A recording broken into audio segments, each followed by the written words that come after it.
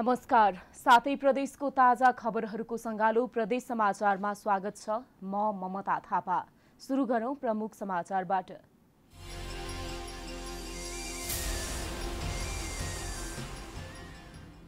सिमलतालमा पहिरोले बगाएको दुईवटा बस र यात्रु एकसाता बिते पनि अझै पत्ता लाग्न सकेनन्। सरकारको खोजी कार्यमाथि उठ्न थाल्यो प्रश्न।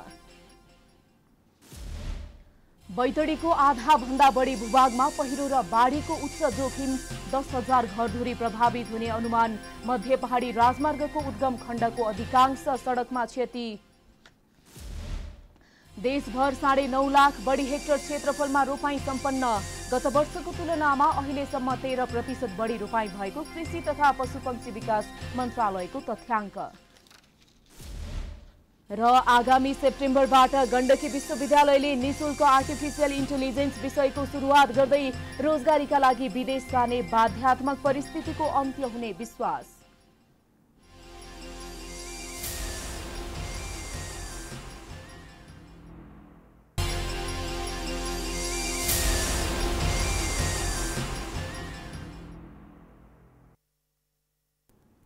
आजको प्रदेश समाचार सुरु गरौं। सिमलतालमा पहिरोले दुईवटा बस बगाएको एक साता बित्दा समेत सरकारको प्रयास उपलब्धिहीन भएको सम्बन्धी समाचारबाट।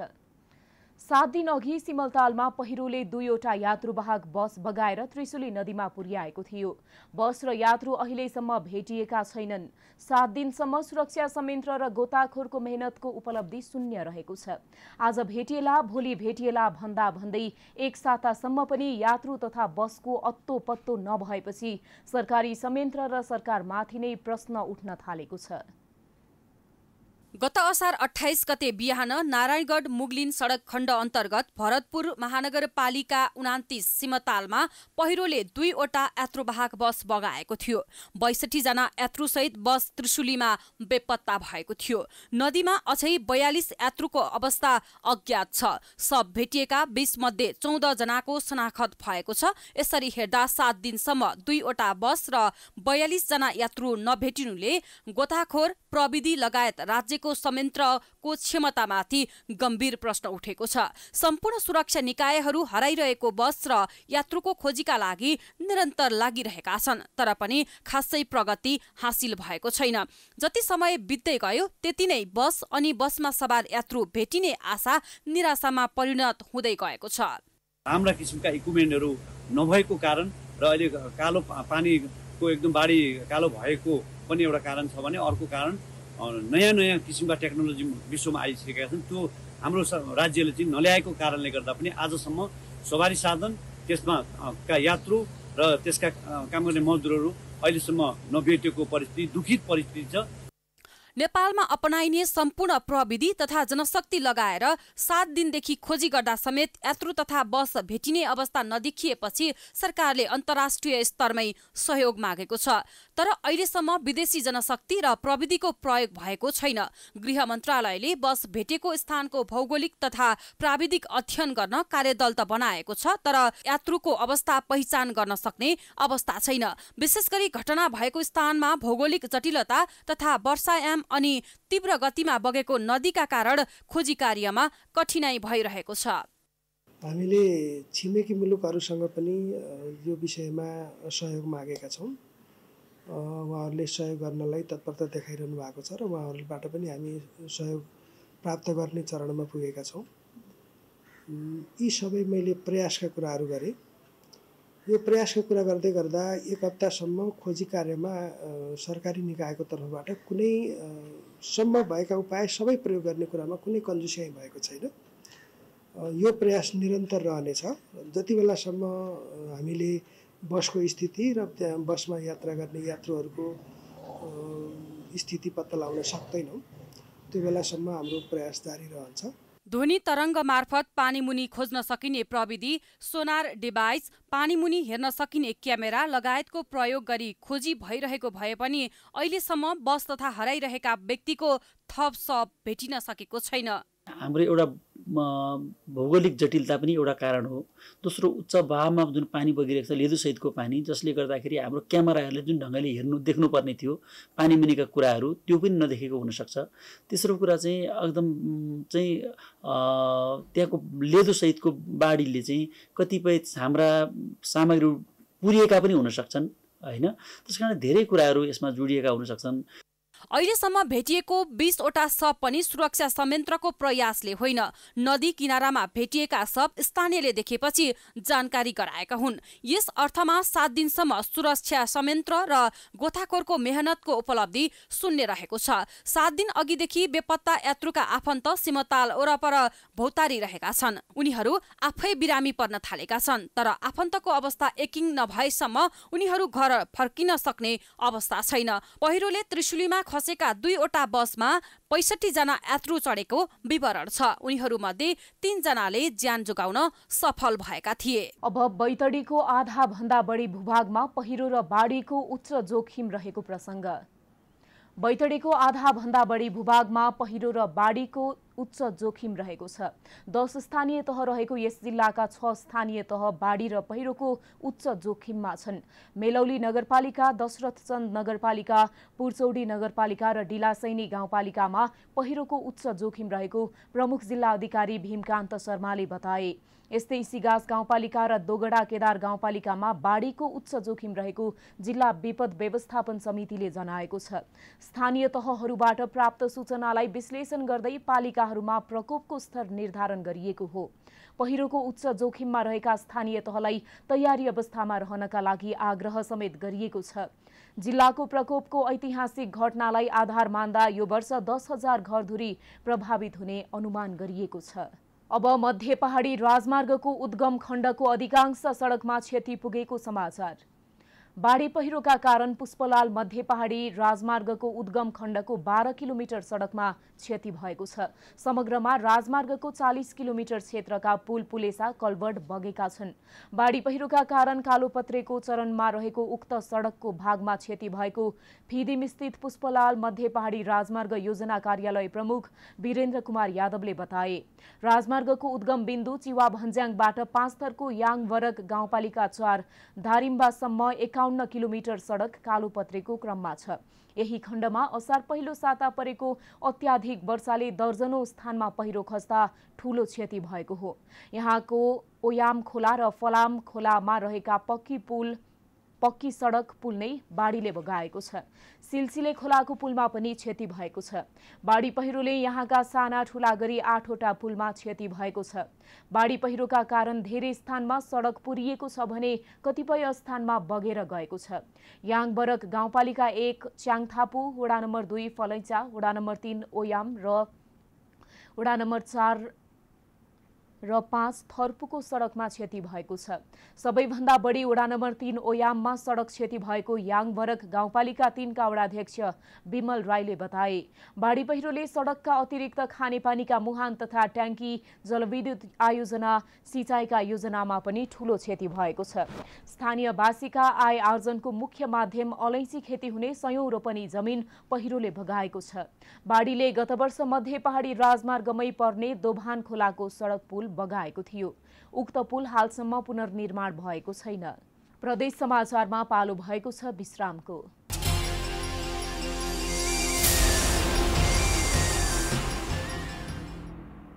विश्रामपछि स्वागत छ। अब लुम्बिनी प्रदेशमा सरकार निर्माणको किचलो देखिएको प्रसङ्ग। नेपाली कङ्ग्रेस र नेकपा एमालेको नयाँ सत्ता समीकरणका कारण केपी शर्मा ओली नेतृत्वमा नयाँ सरकार गठन भइसकेको छ। तर समीकरण बनाउँदा ताका केन्द्रमा भएको सहमति अनुरूप लुम्बिनीमा भने सरकार निर्माणमा किचलो देखिएको छ। लुम्बिनीमा एमाले पहिलो चरणमा सरकार बनाउने सहमति भए पनि प्रदेशमा दुई पार्टी बीच अन्यलता सिर्जना भएको छ। नेपाली काङ्ग्रेसले लुम्बिनी प्रदेश सरकारको नेतृत्व पहिलो चरणमै पाउनुपर्ने दावी गरेको छ। केन्द्रमा काङ्ग्रेस एमाले नयाँ गठबन्धन बनाउँदा एमाले नेतृत्व गर्ने सहमति भएको भने पनि त्यो आधिकारिक र अन्तिम निर्णय नभएको प्रदेशका नेताहरूको भनाइ छ। लुम्बिनीको काङ्ग्रेस नेताहरूले लामो समय माओवादी र एमाले सरकारको नेतृत्व गरेकाले यसपटक आफूहरूले मुख्यमन्त्री दावी गरिरहेका छन्। लुम्बिनीमा काङ्ग्रेस नेताहरूका अनुसार प्रदेशलाई बलियो बनाउन प्रदेश सरकारको निर्णय प्रदेश समितिलाई नै गर्न दिनुपर्छ भन्ने देखिन्छ।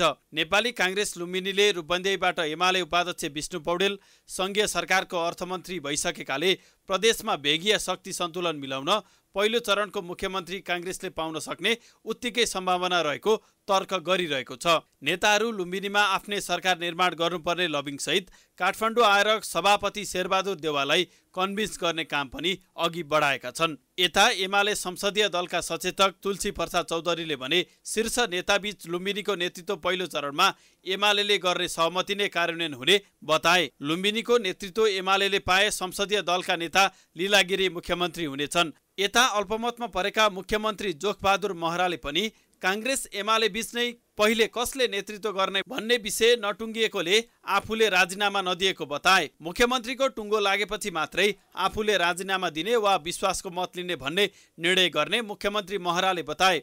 अब गण्डकी प्रदेश सरकार निर्माणका विषयमा कङ्ग्रेस र एमालेको तयारी बारेको प्रसङ्ग। प्रमुख दुई दल नेपाली कङ्ग्रेस र नेपाल कम्युनिस्ट पार्टी एमाले बीच भएको सहमति अनुसार संघीय सरकार गठन भइसक्दा पनि गण्डकी प्रदेशमा सरकार पुनर्गठनको गतिविधि अघि बढ्न सकेको छैन। कङ्ग्रेसले गण्डकी प्रदेशको मुख्यमन्त्री पाउने शीर्ष तहमा सहमति भएको भनिए पनि प्रदेशमा सत्ता साझेदारीलाई कसरी अगाडि बढाउने भन्ने विषयमा दुवै दल अहिलेसम्म छलफलमा समेत बसेका छैनन्। एमाले गण्डकी प्रदेश सभा संसदीय दलका प्रमुख सचेतक गोविन्द बहादुर नेपालीले नयाँ सरकार गठनबारे कङ्ग्रेससँग अब छलफल सुरु गरिने जानकारी दिए। प्रदेशमा रहेका अरू साना दललाई सरकारमा समेट्ने या नसमेट्ने भन्ने विषय पनि सत्ता साझेदार मुख्य दुई दलबीचको सहमतिमा मात्र निर्णय हुने उनले बताए। गण्डकीमा अहिले कङ्ग्रेसका सुरेन्द्र राज पाण्डे नेतृत्वको सरकार छ। गण्डकीमा दुई ठूला दल मिल्दा दुई तिहाई बहुमत पुगे पनि मुख्यमन्त्री पाण्डेका लागि सरकार पुनर्गठनको विषय त्यति सहज देखिएको छैन। सङ्कटका बेला साथ दिएका साना दललाई सँगै लिएर सरकार बनाउने मुख्यमन्त्रीको चाहनामा एमाले सहयोगी बन्छ कि बाधक त्यसले नयाँ सत्ता साझेदारीको खाका तय गर्ने देखिन्छ। कङ्ग्रेस प्रदेशसभा संसदीय दलका प्रमुख सचेतक नन्दप्रसाद नेउपानेले एमाले सहित विगतमा कङ्ग्रेसलाई सहयोग गरेका दलहरूलाई समेटेर सरकार पुनर्गठन हुने जानकारी दिए। उनले गण्डकी प्रदेशको मुख्यमन्त्री कङ्ग्रेसले पाउने निर्णय भइसकेकाले अब सरकार पुनर्गठनका विषयमा दलहरूबीच प्रदेश तहमा छलफल सुरु हुने जानकारी गराए। प्रदेश समाचारमा पुनः पालो भएको छ विश्रामको।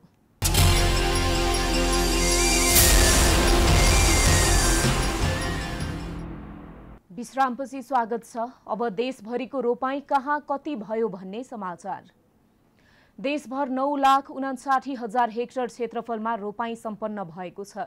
यो वर्ष तेह्र लाख अन्ठानब्बे हजार हेक्टर क्षेत्रफल बर्खे धान रोपाई हुने सरकारी अनुमान रहेको मध्ये नौ लाख उनासाठी हजार हेक्टर क्षेत्रफलमा रोपाई सम्पन्न भएको हो।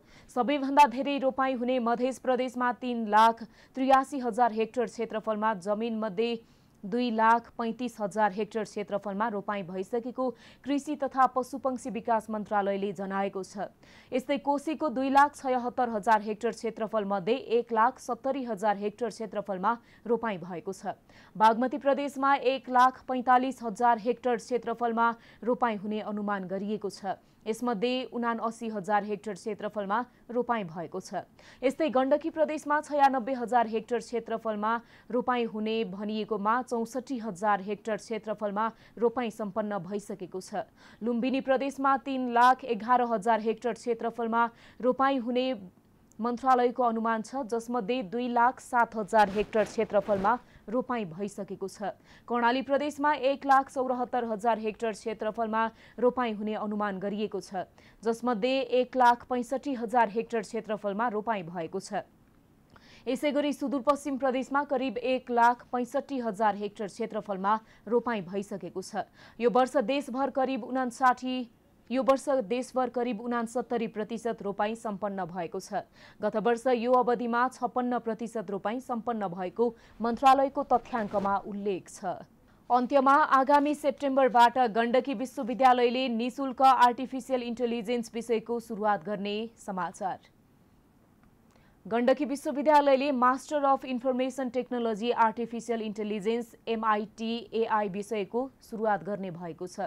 स्नातकोत्तर तहमा बिएससी इन्जिनियरिङ र आइटी सम्बन्ध विषय पढेकाहरूले मात्र एमआइटी एआई पढ्न पाउने विश्वविद्यालयले जनाएको छ।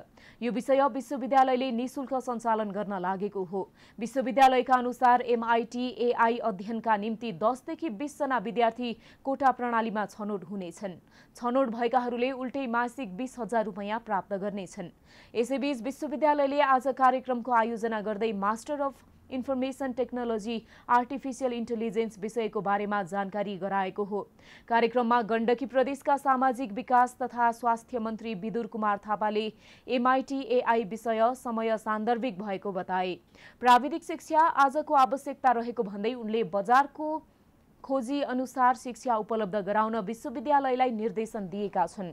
मन्त्री थापाले रोजगारीका लागि विदेश जाने बाध्यात्मक परिस्थितिको अन्त्य गर्न यस्ता कार्यक्रम सहायक सिद्ध हुने विश्वास लिएका छन्। एमआइटिएआई कार्यक्रमको सार्वजनिकरणसँगै प्रचार प्रसारको समेत आवश्यकता रहेको उनको भनाइ छ। मन्त्री थापाले गुणस्तरीय शिक्षालाई आत्मसात गर्दै शैक्षिक आयाम र आयातन बढाउन प्रदेश सरकार प्रतिबद्ध रहेको बताए। विश्वविद्यालयले एमआइटिएआई विषयको अध्यापन सेप्टेम्बरबाट सुरु हुने जनाएको छ। अध्यापन सुरु भएसँगै विश्वविद्यालयले विभिन्न आइटी क्षेत्रका कम्पनीहरूसँग सहकार्य गर्नेछ। हामी प्रदेश समाचारको अन्त्यमा आइपुगेका छौँ। जाँदा जाँदै प्रमुख समाचार पुनः एकपटक।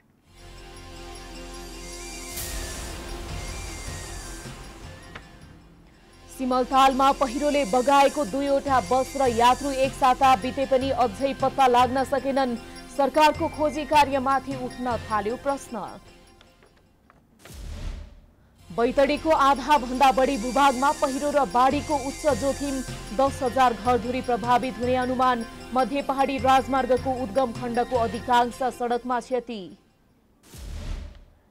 देशभर साढे नौ लाख बढी हेक्टर क्षेत्रफलमा रोपाई सम्पन्न। गत वर्षको तुलनामा अहिलेसम्म तेह्र प्रतिशत बढी रोपाई भएको कृषि तथा पशुपक्षी विकास मन्त्रालयको तथ्याङ्क।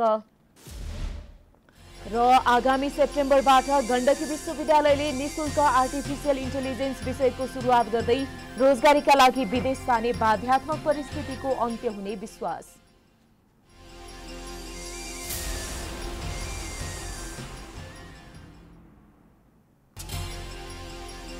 प्रदेश समाचार अहिलेलाई सकियो हेर्दै गर्नुहोला प्राइमेरी नमस्कार।